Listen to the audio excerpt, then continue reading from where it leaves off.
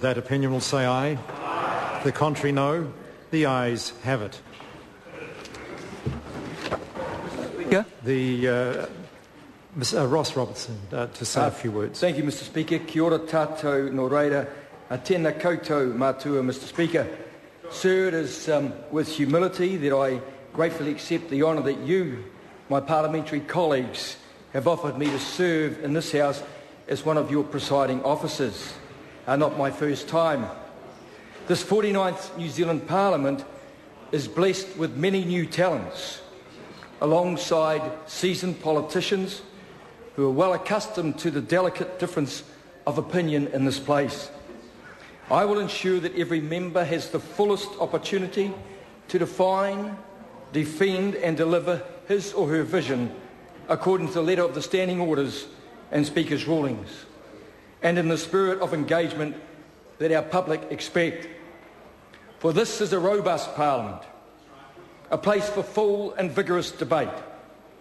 But contributions will be made with respect to the traditions of the House, as enshrined in our standing orders.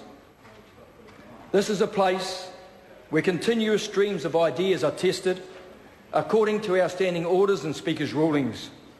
It is like a river that flows from bank to bank, so that its true potential is realised for all. Mr. Speaker, I received an email from a seasoned parliamentary observer following an announcement that I was to be nominated as an assistant speaker. It read, Ross is back. But he thought those words applied to Winston Churchill returning as first Sea Lord.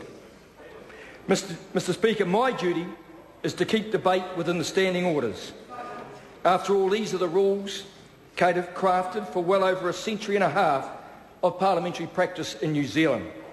And it is my duty to ensure that they are upheld.